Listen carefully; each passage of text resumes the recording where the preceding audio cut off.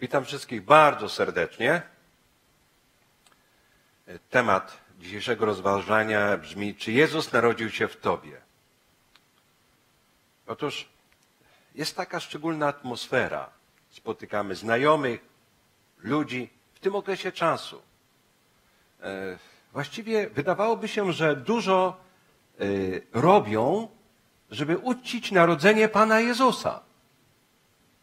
Ale chciałbym właśnie zastanowić się, czy rzeczywiście tak jest. E, kiedy jestem urodzony w domu adwentystów i muszę powiedzieć, że nie do końca rozumiałem moich kolegów, którzy jakby czekali na, e, na właśnie 24-25 grudnia jako jakiś finał, coś niezwykłego. Bo przecież w moim domu każdą sobotę celebrowaliśmy szczególną uroczystość.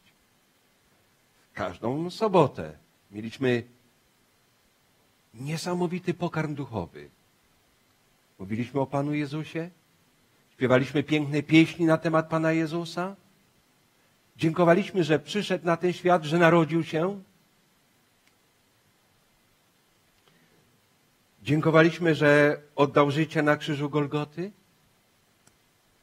E, a po nabożeństwie mieliśmy gości w domu. Był szczególny, szczególny posiłek. Piękna atmosfera. Każdego tygodnia. Myśmy nie czekali, nie musieliśmy czekać, e, żeby e, gdzieś minął prawie cały rok, żeby coś przeżyć. Każdego tygodnia, w każdą sobotę mieliśmy możliwość przeżywać właśnie, właśnie taką niezwykłą uroczystość. Ale my dzisiaj jesteśmy gdzieś obok osób, które właśnie celebrują to szczególne święto. I ktoś mógłby postawić pytanie, czy to jest dobrze, czy to jest złe. Nie chciałbym może taki sposób dzisiaj tą kwestię rozważać. Chciałbym jedynie postawić sobie pytanie i nawiązać do tego, co właściwie nasz wieszcz Adam Mickiewicz powiedział jeżeli wierzysz, że Jezus narodził się w betlejemskim żłobie, lecz biada ci, jeśli się nie narodzi tobie. Że tak naprawdę całą istotą chrześcijaństwa jest przyjęcie Chrystusa do serca i przeżycie jak gdyby nowonarodzenia. Inaczej mówiąc, pozwolenia Jezusowi, żeby zamieszkał w naszym sercu. Czytałem pewną historię. E, wspaniały, wielki król tak bardzo kochał swój naród, że właściwie e, to, co jego poddani posiadali, pochodziło od króla. Cały ich majątek e, to był, to był właściwie majątek, który król im dał. I pewnego dnia, kiedy król miał obchodzić urodziny, to mieszkańcy zebrali się tego królestwa i powiedzieli: My musimy zrobić szczególne przyjęcie. Musimy królowi podziękować za to, co on dla nas uczynił. No i robiono wszystko. Mm, specjalne mm, potrawy. Y, mieszkania były przyozdobione pełnymi światłami, zajęci, zapracowani wszyscy. Niektórzy już wcześniej zaczęli pić na tą okazję. Ale kiedy przyszedł ten dzień, to tylko niewielka grupa przyszła do króla, ażeby mu podziękować. Inni byli tak zapracowani, że nie mieli czasu. Jeszcze inni mówili, a myśmy zapomnieli o tym. I tenczas król był bardzo smutny. Postawił sobie pytanie, tak naprawdę oni nie chcieli oddać mi czci. podziękować. Oni myśleli tylko o sobie. Może to było powodem, że Adam Mickiewicz skierował tak głębokie słowa. Lecz biada ci, jeżeli Jezus nie narodzi się w tobie. Biada tobie i mnie dzisiaj. Możesz wiele o nim mówić, wiedzieć. Możesz nauczać. Możesz innych przekonywać. Ale jeżeli jest tam w duszy brak Chrystusa, to wszystko nie jest tak, jak być powinno. I dlatego, kiedy czytamy w Ewangelii te piękne słowa, one wskazują na szczególne wydarzenie. Plan zbawienia zaczął się realizować. O tym my musimy pamiętać i za to powinniśmy być Bogu wdzięczni. O tym powinniśmy mówić każdego dnia. Słowa, które wypowiedział anioł do Marii, do młodej dziewczyny, która może nie rozumiała całej misji, ale która przyjęła z pewną godnością to zadanie. Y, przyjęła to zadanie po to, żeby pomóc rozwiązać y, problemy człowieka. A tak naprawdę, gdybyśmy postawili sobie pytanie, dlaczego Pan Jezus chciał przyjść na tą ziemię? Gdybyśmy pytali się kogokolwiek, prawdopodobnie byłyby różne odpowiedzi. Ale mogę powiedzieć dzisiaj, że chciał przyjść na tą ziemię, bo widział Ciebie i mnie. Bo widział osoby, które kocha i będzie do końca kochał, które mają czy miały, a może nadal mają poważny problem w swoim życiu. Widział osoby, które są uzależnione, które nie dadzą sobie rady, nie ma szansy na to, żeby z tego królestwa, które ma Lucyfer, żeby się wyzwolić. Moi drodzy, zgodzicie się ze mną czy nie? Żeby to lepiej zobrazować. Pewnego dnia szliśmy z żoną przez, to było w Poznaniu, i szła pewna dziewczyna, która niosła dziwną smycz. To właściwie była taka tyczka, i tam była obroża, ale nie było żadnego zwierzaka. I tak szła ulicą. I mówię do żony, powiem tej pani, że ma ładnego pieska. Żona mówi, nie, nie wygłupiaj się, nie żartuj. Ale kiedy druga szła też, to ja mówię, przepraszam bardzo, ale ja tu pieska nie widzę. Ona mówi, bo my reklamujemy sklep. Aha. I w ten czas taka myśl mi się skojarzyła. Gdy człowiek żyje bez Chrystusa, gdy w Twoim i moim sercu nie ma Chrystusa, to jest ktoś, kto zakłada Tobie smycz, obroże i trzyma Cię. I mówi, ja Ciebie nie puszczę. To jest Lucyfer. I on trzyma miliony, miliardy ludzi. I on kontroluje ich życie. On ich uzależnił, związał, y, kieruje ich życiem i nie ma szansy. Drodzy, nie mamy szansy się uwolnić. Czasami potrafimy kontrolować nasze zachowania. Czasami potrafimy stwarzać pozory, że my jesteśmy lepsi, bardziej święci, bardziej pobożni od innych. Tak naprawdę przeżywamy olbrzymi dramat. I właśnie w ten czas potrzebujemy Chrystusa, potrzebujemy tego, który uwalnia nas z tej obroży, który daje prawdziwe życie, prawdziwą radość, prawdziwą wolność Jezusa Chrystusa. I kiedy właśnie dwa tysiące lat temu na polach betlejemskich rozległa się niesamowita wiadomość. Niesamowita wiadomość. A później niebo zostało poruszone najpiękniejszą pieśnią, jaką kiedykolwiek człowiek mógł usłyszeć. Chwała Bogu na wysokościach. Olbrzymia radość, że plan zbawienia rozpoczął się realizować. Niesamowita radość. Wyobrażam sobie poruszonych pasterzy. Nasuwa się pytanie, dlaczego to pasterze mieli ten przywilej, a nie kapłani, nauczeni w piśmie, teolodzy, którzy to badali, ale ci prości ludzie. Chrześcijańska pisarka Noet napisała, bo oni często rozmyślali, kiedy przyjdzie Mesjasz. Dla nich to było niezwykle ważne. To była grupa ludzi, która poważnie traktowała Boże proroctwa i z tego powodu, z tego powodu otrzymali tą szczególną informację e, o Panu Jezusie, który narodził się.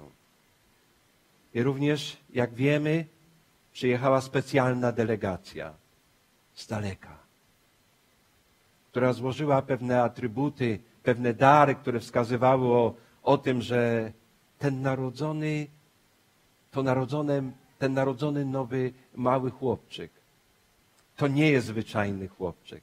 To nie jest zwyczajne niemowlę. To jest król. Oddali jemu pokłon. Złożyli jemu dary królewskie, kapłańskie. Było to niesamowite. Bo Jezus nie był zwykłym chłopcem czy niemowlęciem. To był Bóg, który wcielił się e, w człowieka, ażeby wreszcie zrealizować plan zbawienia, ratunku ludzi. Chcę wrócić do słów, które wypowiedział Adam Mickiewicz.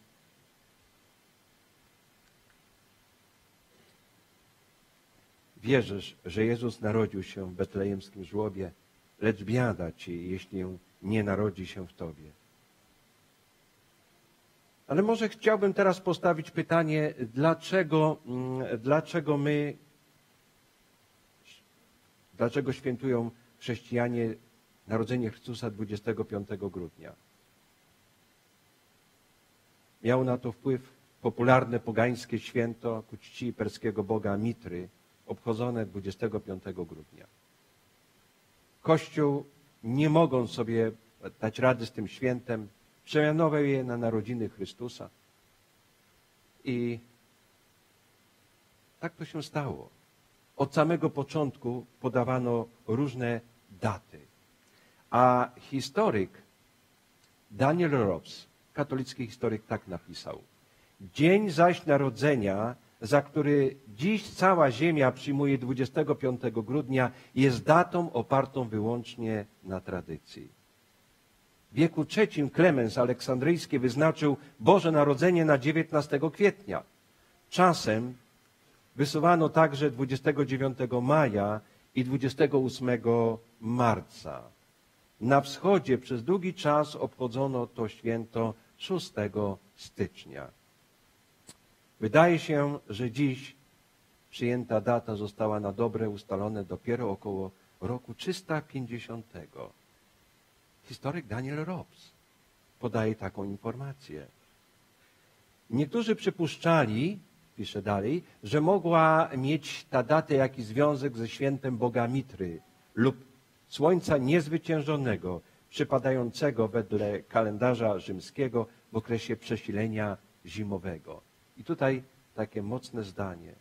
Znamy wiele wypadków, gdy liturgia chrześcijańska wyzyskiwała dla swoich celów święto pogańskie. Dzieje Chrystusa Daniel Robs, wydanie wydawnictwa Pax Warszawa 1987 rok. Chciałbym jeszcze odczytać jedną y, informację, fragment y, historyka pani Marii Janczewskiej, Historia starożytnego Rzymu, wydanie PWN-u. Napisała tak. Kult Mitry przez długi czas był bardzo poważnym rywalem chrześcijaństwa. Szerokim oddziaływaniu na masy ludności Obie religie miały zresztą wiele cech podobnych, a zwyciężony ostatecznie mitrianizm wywarł pewien wpływ na chrześcijaństwo. Tak na przykład świętowana przez wyznawców Mitry data jego narodzin, 25 grudnia, obchodzona jako główne święto w kulcie solarnym Słońca Niezwyciężonego została przez chrześcijan uznana za Dzień Bożego Narodzenia. Tyle nam mówi historia. Były różne daty, a teraz pomyślmy sobie, co by powiedział Pan Jezus, e, kiedy przyglądał się pewnym rzeczom, e, pewnym zwyczajom. Weźmy sobie taką refleksję, że Pan Jezus jest wśród nas i może by takie słowa powiedział. Chociaż jest to święto przyjęte, a pamiątkę moich narodzin, wcielenia jako człowieka, to osobiście przeżywam duży smutek. W czasie tych świąt cała uwaga jest skupiona na wielu sprawach, a tak niewiele myśli się o mnie i w celu mego przyjścia.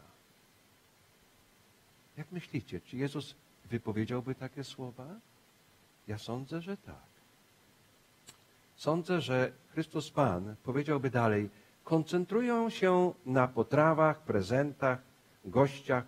Często korzysta się z alkoholu, celebrując moje narodziny. Obawiam się, że jestem tylko dodatkiem. Kiedy Kościół chciał pozyskać czcicieli mitry, to przyjął ich święto wraz z ich zwyczajami. Pewien profesor psychologii na jednym z wielkich uniwersytetów e, przeprowadził taki test skojarzeniowy. E, dla grupy 40 studentów postawił takie hasło Boże Narodzenie i pierwsza myśl, jaka się wam pojawia, proszę napiszcie. I był zaskoczony, ponieważ były takie informacje. Choinka, prezenty, dobre jedzenie, goście. Nawet jedna osoba nie napisała narodziny Jezusa Chrystusa. Bo rzeczywiście jest to czas, w którym no, kojarzy się to z, właśnie z tymi rzeczami. To forma przerasta treść. I tak jak ktoś powiedział, że jest to przyjęcie urodzinowe, na którym brakuje solenizanta, ba, nawet się go na to przyjęcie nie zaprasza. Prezenty, które zajmują całą uwagę, ale myślę, że jest jeszcze jedna osoba, która też staje się bohaterem tych świąt. Tak naprawdę Jezus jest gdzieś na marginesie. E, myślę o Mikołaju. Wiele ludzi nie wyobraża sobie świąt bez tej bajkowej postaci. Dla małych dzieci, sprzedawców, kupców, to Mikołaj jest głównym bohaterem tego święta, a nie Chrystus. On zajął jego miejsce. Mikołaj króluje na witrynach sklepowych, filmach, pocztówkach i co najgorsze, on, a nie Jezus Chrystus, króluje w umysłach dzieci. Często rodzice mówią, bądź grzeczny, bo Mikołaj ci nic nie przyniesie. Uczą oni tym samym swoje dzieci wyrażać wdzięczność i zaufanie Mikołajowi, a nie Bogu. Takie są realia. Czy to jest celebracja narodzin Pana Jezusa?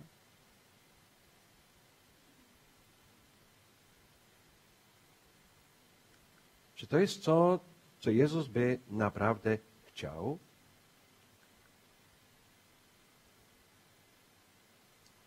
Smaczne potrawy, to wszystko.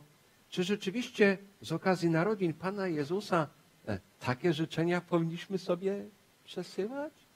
No to są standardowe. Większość takie e, pogodnych, zdrowych, radosnych świąt i co?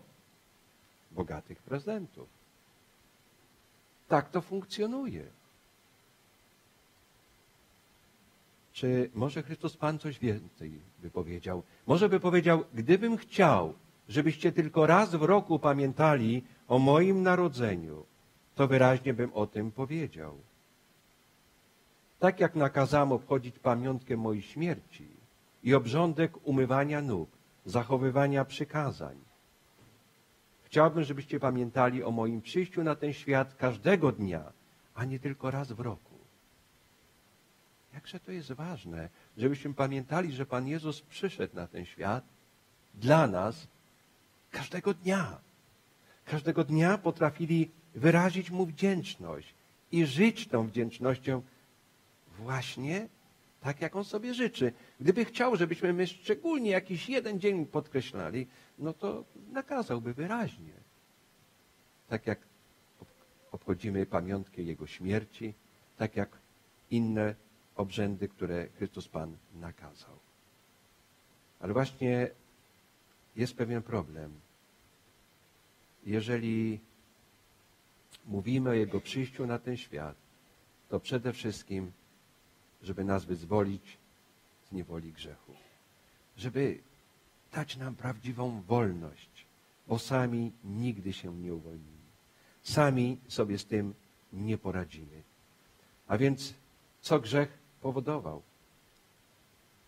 Że nasza natura stała się jaka? Zła. Grzech spowodował, że, nasza, że staliśmy się niewolnikami szatana. Grzech spowodował to, że staliśmy się oddaleni od Boga. Taka jest nasza natura. Czy jest ktoś na tej sali, kto nigdy w życiu nie kłamał? Przepraszam, ja się chyba pomyliłem. To nie do tej grupy powinienem przemawiać. Myślałem, że to są święci. A może mieliście w takiej sytuacji, jeżeli jest to symptom wasz, muszę ze wstydem powiedzieć też i mój, to może mieliście rodziców, którzy was tego uczyli. Nie, nie mieliście takich. To jak to się stało, że zaczęliśmy kłamać? Jak to się stało, że pojawiło się coś niewłaściwego? E, pamiętam, jak mój synek e, pewnego dnia był jeszcze małym chłopcem, przyszedł i coś zaczął żonie mówić, a żona mówi, Tomciu, nie mówisz prawdę. E, a on momentalnie stał się czerwony jak burak, nie?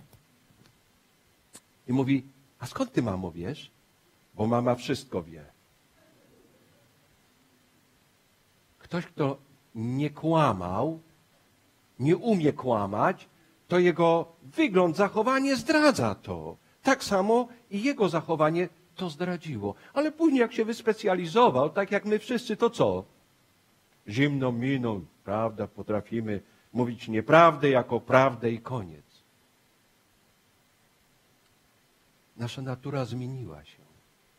To religie wschodu mówią, że tak naprawdę ty masz siłę sam w sobie się zmienić. Ale chrześcijaństwo mówi, potrzebujesz Zbawiciela, Odkupiciela. Kogoś, który przyprowadzi Ciebie z powrotem do Boga. Kogoś, który zmieni Twoje życie. A więc możemy powiedzieć, że cała ludzkość znajduje się w podobnej sytuacji. Wszyscy zgrzeszyliśmy. I każdy z nas zasłużył na śmierć. Taka jest prawda. Słowo Boże mówi jasno i wyraźnie, zapłata za grzech jest śmierć. Możemy się licytować, że jesteśmy lepsi od siebie nawzajem, ale to nie zmieni problemu. To nie zmieni całej sytuacji. A więc, gdyby Chrystus nie przyszedł dwa tysiące lat temu na tą planetę, to ludzkość byłaby zgubiona, bez ratunku i skazana na zniszczenie. Tak byłoby. Więc każdego dnia ty i ja masz powód, żeby wstawać rano i Bogu dziękować, że nie znajdujemy się w sytuacji bez wyjścia, ale mamy ratunek. Mamy ratunek w Jezusie Chrystusie, w naszym Zbawicielu. Pewnego dnia, było to w nocy, do Pana Jezusa przyszedł pewien nauczyciel, członek Rady Żydowskiej, niejaki Nikodem, który odczuwał pewien niedosyt swojego życia duchowego, religijnego. Nikodem właśnie jak gdyby przyszedł pytając się o to, co Adam Mickiewicz powiedział, że jeżeli tam w duszy nie zabije serce dla Chrystusa, to to życie jest puste, to życie nie ma żadnych wartości, nie ma żadnej przyszłości. To życie nie ma większego celu. Dlatego Pan Jezus powiedział Nikodemie, ty musisz się co? Narodzić na nowo. Twoje życie musi wejść Chrystus. W ten czas to życie wygląda zupełnie inaczej. I po to Chrystus Pan przyszedł na tą ziemię, żeby zachęcić Ciebie i mnie do zaproszenia Chrystusa do swego życia. Przyszedł po to, żeby uświadomić nam, że wiedza na temat Jego narodzin to jest za mało. Nawet celebracja, którą niektórzy chrześcijanie raz w roku E, mają, to też nie wystarcza, bo tak naprawdę i ona nie koncentruje się na Chrystusie, tylko na wielu innych rzeczach okołoświątecznych, ale nie na Zbawicielu. To Bóg może zmienić Twoje i moje życie. To Bóg udziela nam pokoju, radości, nadziei, bezpieczeństwa i On dokonuje zmiany charakteru. To, co wydaje się nam niemożliwe, Bóg może to uczynić i Bóg stara się czynić. Ale mam pytanie do Ciebie i do siebie. Czy jesteś zadowolony ze swego charakteru? Kto jest zadowolony? O ludzie, to tutaj trzeba psychologa, a nie pastora. No, to ja się pomyliłem, to do innego muszę pójść zgromadzenia. A wobec tego stawiam drugie pytanie. A kto chce Bogu podziękować za to, co Bóg już w jego charakterze uczynił, dokonał i widzi pewne zmiany? Są takie? Amen. Amen. To jest to właściwe zgromadzenie. Dobrze. Tak jak to pewien człowiek powiedział, kiedy myślę o sobie i porównuję swój charakter z Chrystusowym, to jestem nieco załamany. Ale kiedy pomyślę, jaki byłem kiedyś, a jaki jestem dzisiaj, to Bogu co? Dziękuję. Chwała Bogu. Bóg zmienia nasz charakter. Bóg zmienia. I tak pozwólcie, że Pan Bóg daje nam, udziela nam miłości. Takiej prawdziwej. Miłości, którą apostoł Paweł tak pięknie opisał. Miłości, o której często, kiedy dwoje zakochanych ludzi mówi na temat swoich uczuć, boję się, że nie ma pojęcia o tej miłości Agapy, o tej miłości, o której pisał Paweł. Mówią o jakiej miłości? Bardzo samolubnej. Ale Paweł to pięknie definiuje, bo miłość nie można zdefiniować jednym wyrazem. Cierpliwość. Czy są na tej sali ludzie, którzy nie mają problemu z brakiem cierpliwości? Nie ma. Ja nieraz słyszę, starsze małżeństwo, ile razy mam ci to powtarzać, mówi żona do męża. Bo wiecie, im więcej przybywa lat, to już troszkę z pamięcią może być różnie, prawda? I chciałoby się powiedzieć, że czego nam potrzeba? Cierpliwości. Mało tego, Salomon powiedział, że łagodna odpowiedź, taka cierpliwa odpowiedź, co powoduje? Uśmiesza gniew. Ile konfliktów byśmy e, w naszych relacjach małżeńskich, rodzinnych, przyjacielskich uniknęli, gdybyśmy umieli na taką może troszeczkę podniesiony głos odpowiedzieć jak? Tak łagodnie. E, pozwólcie, że pewną dygresję zrobię. Nie wiem, czy żona będzie zadowolona to, co ja powiem, ale muszę to powiedzieć, bo chcę uwielbić Pana Boga. Bo to jest Jego zasługa i Jego wpływ. 39 lat temu, 19 grudnia, Bóg nas razem połączył. Było to w zborze w Krakowie, mieliśmy ślub i od tego czasu razem idziemy przez życie. 37 lat służby dla Pana Jezusa. Przepiękna, przepiękne doświadczenia. Kiedy patrzyłem dzisiaj na Pathfindersów, to przypominałem, jak myśmy to rozpoczynali. Nie było łatwo, była dość duża opozycja.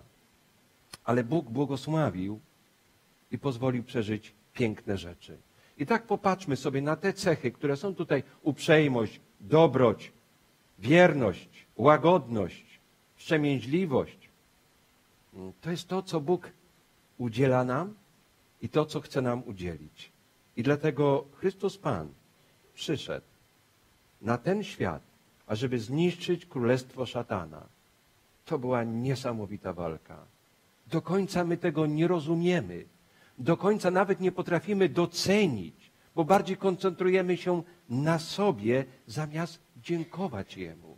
Dlatego moje i Twoje życie nieraz jest takie smutne, bo nie umiesz podziękować.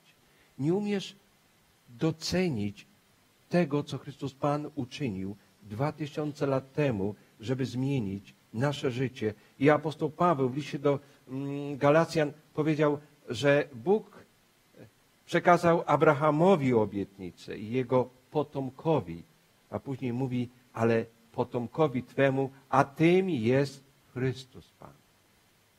Ta przepiękna obietnica, która od samego początku towarzyszyła rodzajowi ludzkiemu w Jezusie Chrystusie, znalazła swoje wypełnienie. Prawda, że chcielibyście zamieszkać w miejscowości, która się nazywa Nowe Życie. E, tam, gdzie ja mieszkam, niedaleko jest miejscowość Nowy Świat. Ale jak myślicie, czy jest to Nowy Świat? Nie. Są tam cmentarze, ludzie umierają, małżeństwa się rozwodzą, chorują, problemy są. To nie jest Nowy Świat. I bez względu na to, jaką tabliczkę sobie umieścimy, łudząc się, że ona zmieni wszystko, to nic nie zmienia.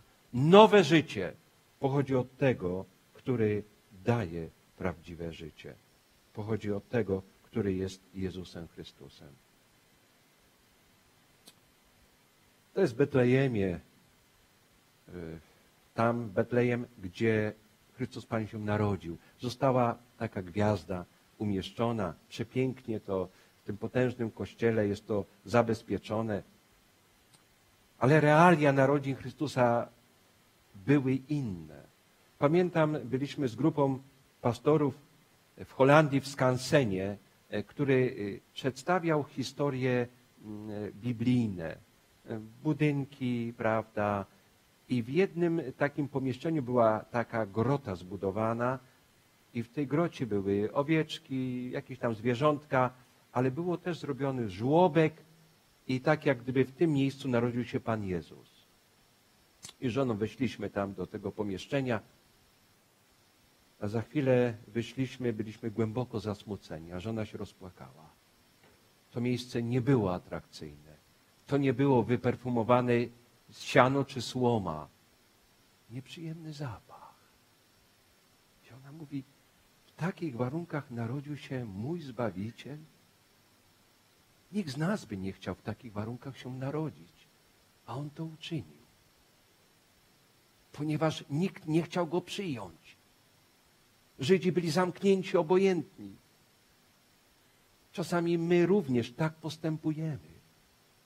Pan Jezus narodził się w takich warunkach, żebyś ty i ja nie usprawiedliwiał swego życia tym, że Twoje warunki dorastania były tak trudne, taka krzywda Cię w życiu spotkała, w ogóle i w ogóle. Pewien chłopak opowiadał, że jego mama była prostytutką i urodził się gdzieś w domu publicznym. Nie wiedział, kto był jego ojcem i nie miał się kto nim opiekować. I powiedział sobie, i moje życie mogłoby być takie samo podobne, ale ono stało się inne.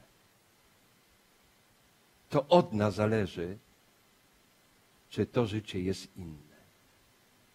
To, że chcemy gdzieś tam zaznaczyć, że tu właściwie narodził się Pan Jezus, może, może to nie ma większego znaczenia. Byłem w tym miejscu, na pewno wielu z nas również miało możliwość. Niektórzy nawet z pielgrzymów, kiedy przyjeżdżają tam, to dają taki szczególny dowód mm, szacunku, całując, oddając pokłon. Ale nie wiem do końca, czy rzeczywiście to jest najważniejsze. Możemy czytać w Słowie Bożym dużo na temat właśnie misji Chrystusa. To, co jest dla mnie szczególnie ważne, to to, że Jezus zapukał do waszego serca i byście otworzyli drzwi. Wasza obecność na tym miejscu o tym świadczy. I to jest niesamowita rzecz. I to, że dwa tysiące lat temu Pan Jezus nie umarł nadaremno, dlatego że jest grupa osób, która kocha Jego, która przyjęła Jego, która zaprosiła Jego, która poddaje się Jego działaniu, która cieszy się z Jego obecności w życiu, która tak pięknie rozumie te słowa: Ja jestem drogą, prawdą i życiem. Nikt nie przychodzi do Ojca inaczej jak tylko przeze mnie. Gdybyście mnie poznali, znalibyście i mojego Ojca, ale teraz już go znacie i zobaczyliście. Ja jestem drogą i prawdą i życiem. Te słowa Jezus kieruje do każdego z nas. Ale właśnie te słowa są niesamowicie ważne. Gdybyście ze mną otworzyli Księgę Izajasza, dziewiąty rozdział, i może wcześniej, w dziewiątym rozdziale, brat Julian już to czytał, ale jeżeli pozwolicie, w drugim, y, y, w dziewiątym rozdziale, y, gdybyście ze mną przeczytali, tam pierwsze piękne dwa wiersze. Lud, który chodzi w ciemności, ujrzy światło wielkie, nad mieszkańcami krainy mroków zabłyśnie światłość. Udzielisz mnóstwo wesela, sprawisz wszelką wielką radość, radować się będą przed Tobą, jak się radują żniwa, jak się weselą przy podziale łupów. Zapowiedź narodzenia, przyjścia Mesjasza, olbrzymia radość, olbrzymie wesele. A później albowiem dzieciem narodziło się nam, syn jest nam dany i spocznie władza jego na jego ramieniu i nazwą go cudowny doradca, Bóg mocny, Ojciec odwieczny, książę pokoju. Potężna będzie władza i pokój bez końca, lecz na tronie Dawida i jego królestwie, gdyż utrwali ją i oprze na prawie i sprawiedliwości odtąd aż na wieki, dokona tego żarliwość Pana zastępów. Niesamowite słowa. Moglibyśmy tu omawiać każdym ten, ten opis Chrystusa, cudowny doradca. W Ewangelii Jana Pan Jezus powiedział, ja jestem drogą. Przed chwilą to czytaliśmy. A w innym miejscu powiedział, ja jestem drzwiami. Nie wiem, czy kojarzyliśmy sobie kiedykolwiek, o co, co Jezus chciał powiedzieć. Nieraz w życiu mogą być takie sytuacje. Jakbyśmy znaleźli się w pomieszczeniu, w którym nie ma drzwi, nie ma wyjścia. I po ludzku mówimy, z tego nie ma wyjścia. I w ten czas Jezus co nam mówi? Ja jestem drzwiami. Ja mam rozwiązanie. Ja mam wyjście.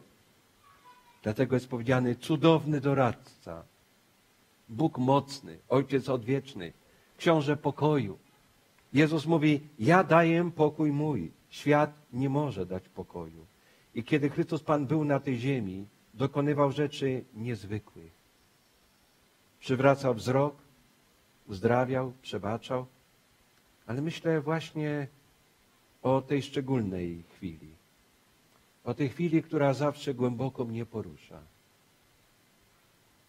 Cierpienia fizyczne, ale też to, co przeżył z powodu grzechów, które spoczęły na naszym Zbawicielu. Ta chwila nigdy nie powinna gdzieś ujść naszej uwadze. Dwa tysiące lat temu dokonano najtragiczniejszego wyboru. Piłat, prokurator rzymski, chciał uratować Pana Jezusa. On wiedział, że ten człowiek jest szlachetny, niewinny. On wiedział, że to nie jest przeciętny człowiek. Jest to dziwne. Prokurator rzymski e, rozpoznał się na Chrystusie. Ale cały naród wybrał kogo? Wybrał Barabasza. Dlaczego? Siostry bracia, powiedzcie mi. Dlaczego cały naród wybrał Barabasza? Bo byli jednakowi. Czy tylko dlatego? Dlaczego Jezus im nie pasował do tego wszystkiego? Ponieważ oni oczekiwali na Mesjasza, który będzie jako król, jako pan, jako odkupiciel. A Jezus nie pasował do tego obrazu. A więc oni pomylili drugie przyjście z pierwszym. I zamiast czekać na pierwsze przyjście, to skupili swoją uwagę na którym przyjściu? Na drugim przyjściu. I to doprowadziło do zmiany. Zapomnieli, że Izajasz 53 rozdział, gdybyście na chwilę ze mną otworzyli ten 53 rozdział, tu jest powiedziane o Chrystusie, zgardzony był, wiersz trzeci, i opuszczony przez ludzi. Mąż boleści, doświadczony w cierpieniu, przed którym zakrywa się twarz, zgardzony, tak, że nie zważaliśmy na Niego. Lecz On nasze choroby nosił. On nasze cierpienia wziął na siebie. A myśmy mniemali, że jest zraniony przez Boga, zbity i umęczony. Lecz On zraniony jest za nasze występki. Starty za naszą winę. I tak moglibyśmy dalej czytać piękny rozdział Izajasza. Ale naród izraelski nie chciał tego proroctwa znać. Nie chciał takiego Mesjasza. Nie chciał takiego Chrystusa. Cała uwaga była skupiona na drugim przyjściu Mesjasza jako króla, jako założyciela królestwa pokoju, nowego świata. I myślę, że nasze, nasz czas jest niezwykle podobny, bracia i siostry. Żyjemy w społeczeństwie, żyjemy w kulturze, żyjemy obok ludzi, którzy całą uwagę koncentrują na którym przyjściu Pana Jezusa? Na pierwszym. Zupełnie zapominają o, o drugim przyjściu. A więc czeka się już, prawda, od, od, od, od listopada czy października do świąt Bożego Narodzenia. No w porządku. A później przychodzą święta wielkanocne, później kolejne święta, później pierwszy listopad i znowu tak. I kiedy my mówimy ludziom, że Pan Jezus przyjdzie, że będzie koniec świata, że to drugie przyjście jest tym najważniejszym, to ludzie co mówią? No nie Pan chyba żartuje. Jeżeli nie ma drugiego przyjścia, to pierwsze przyjście nie ma sensu. To w drugim przyjściu się to wszystko realizuje. W drugim przyjściu jest zbawienie, jest realizacja innego życia. Jeżeli drugie przyjście nie jest praktykowane. To nie chodzi o datę, ale chodzi o to, że zapomniano o drugim przyjściu. Dlatego Bóg powołał sobie Kościół, który nawet ma w nazwie adwentyści. Ludzie, którzy czekają na powtórne przyjście. Ludzie, dla których nie jest obojętne pierwsze przyjście. Nie, nie, nie. Starałem się o tym mówić bardzo często. Przeżywają to, doświadczają. Ale przede wszystkim chcą zwrócić uwagę na Jego drugie przyjście, ażeby ta lekcja z przeszłości, lekcja narodu izraelskiego, który odrzucił możliwości ratunku, nas również nie ominęła.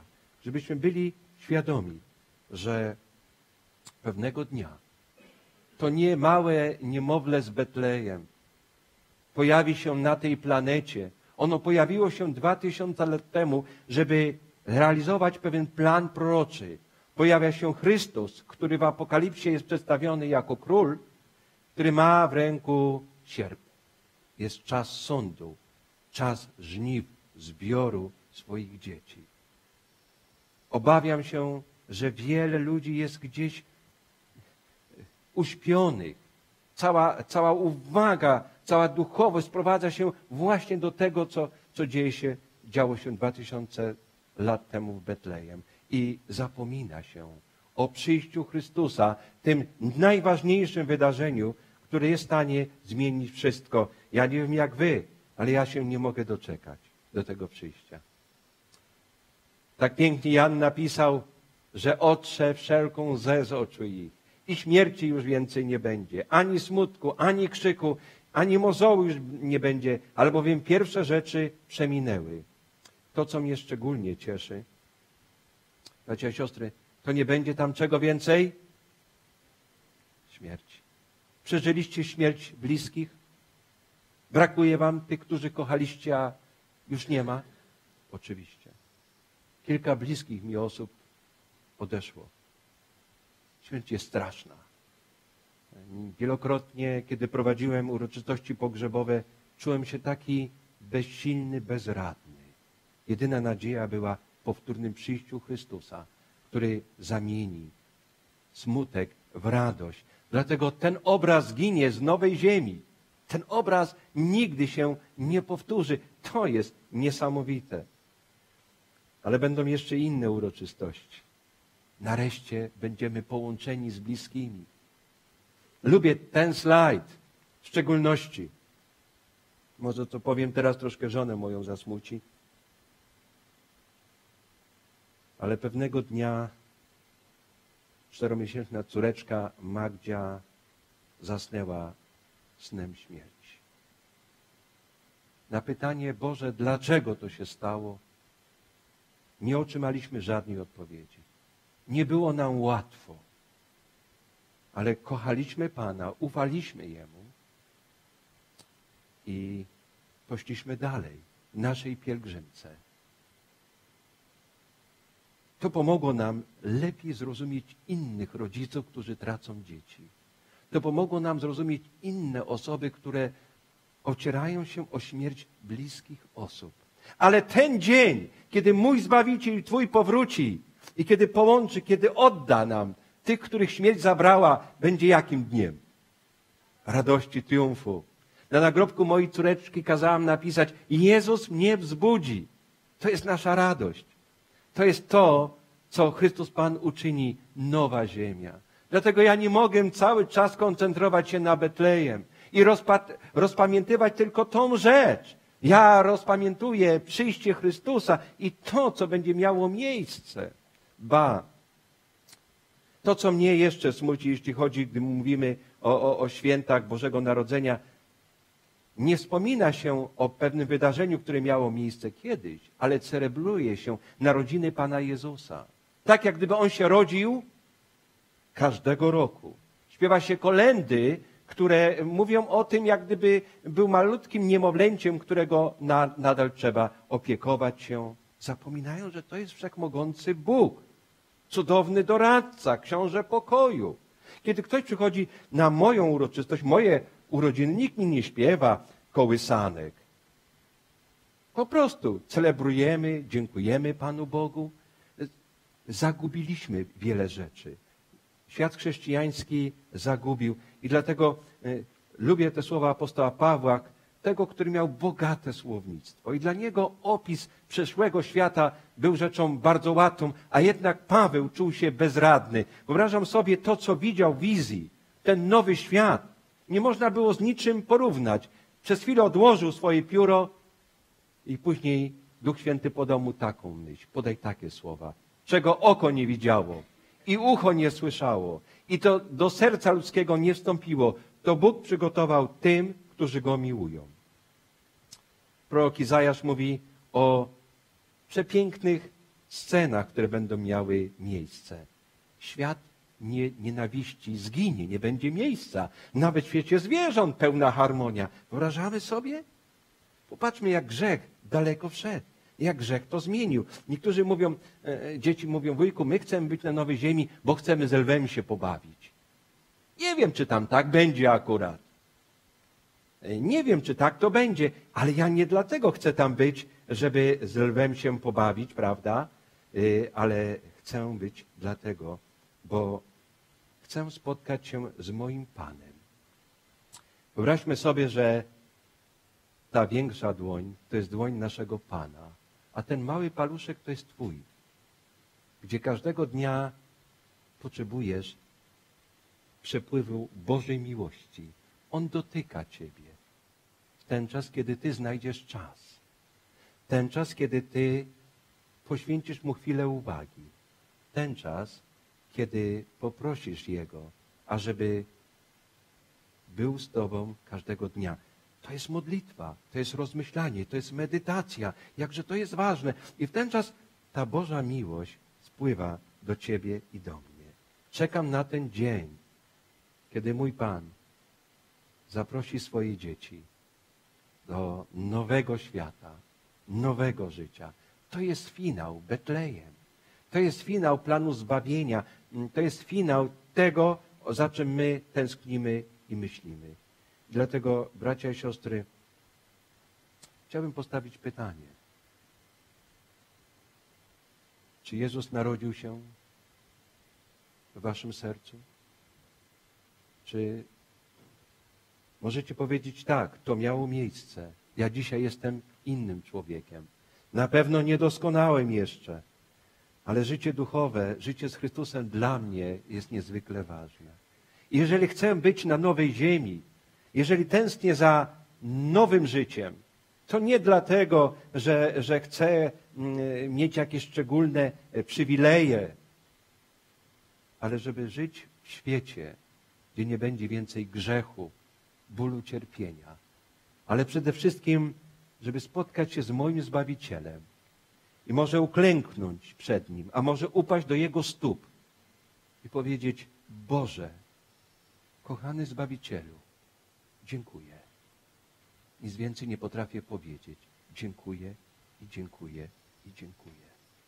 Bo gdyby tak nie było, ani dla Ciebie, ani dla mnie nie byłoby ratunku. Moi drodzy, czy chcielibyście na chwilę wstać, jeżeli czujecie takie pragnienie, i powiedzieć właśnie te słowa: Dziękuję przez chwilę Jezusowi, a później ja głośno się będę modlił.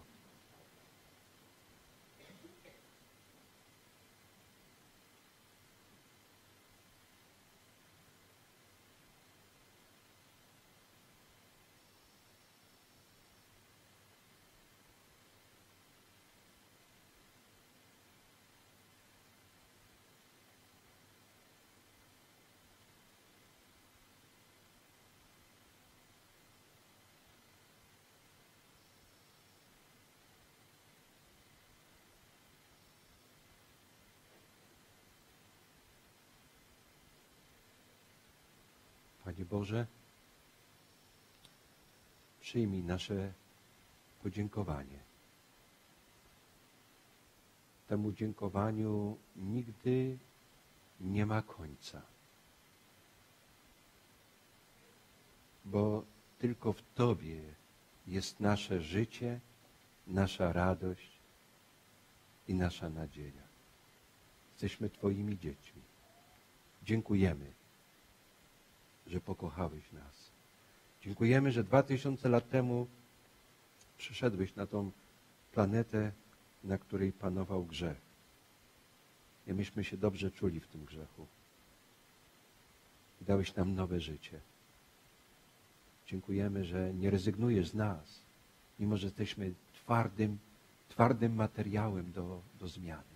Mimo, że grzech nadal nas pociąga, mimo że uzależnienia nam nieraz dalej towarzyszą, Ty nie zrezygnowałeś z nas. Ogarniasz nas swoją miłością. Pociągasz. Boże, błogosław to zgromadzenie. Wiesz o każdym z nas. Drogi Zbawicielu, zamieszkaj na nowo w naszych sercach. Daj, żebyśmy żyli życiem podobnym do Ciebie. Żebyśmy mogli innym o tym mówić i swoim życiem świadczyć. Dziękujemy, że jesteś tak blisko przy nas. Dziękujemy za Golgotę. Ona zmieniła wszystko, ale czekamy na Twoje przyjście. Przyjdź, Panie Jezu. Przyjdź jak najszybciej. Tęsknimy za Tobą. Amen. Nabożeństwo zakończmy wspólną pieśnią.